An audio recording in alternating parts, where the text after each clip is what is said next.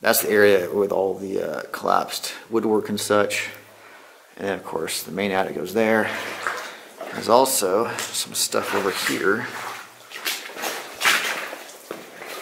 You can see uh, drift runs back that way a little ways. Uh, looks like it's all backfilled. Looks like they might have had an LHD back here. Looking this way, uh, looks like the drift runs back to that point and stops. See the uh, high pressure pipes right there. And uh, right in front of me, something kind of interesting. You can see they're injecting Freon into the sides of the adit here.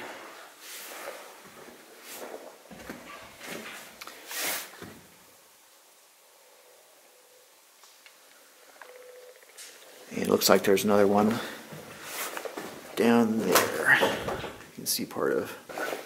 Yep, that is what that is. And then, oh, actually looks like the adit might go a little bit farther.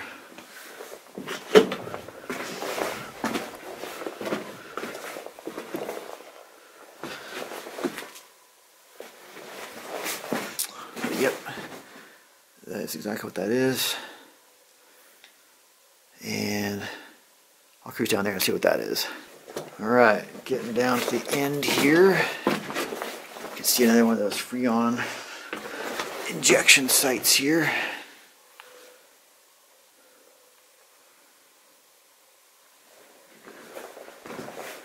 And just a little chamber back here. And that looks like it ties back into the main adit right there. Double check that, of course. And behind me here, or I should say in front of me now, is the purpose of the Freon injection.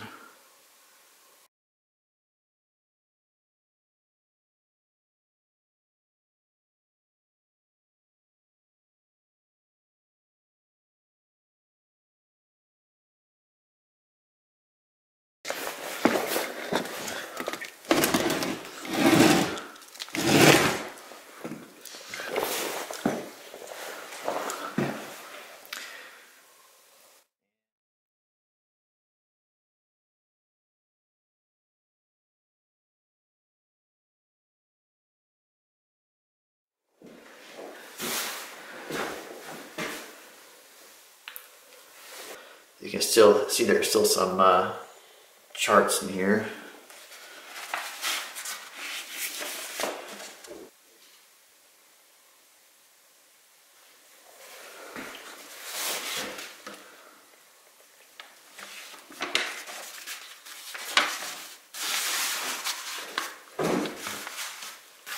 I was looking for a date on this and I noticed up on top right there it says 1987 so uh, tell you it's been down here for a while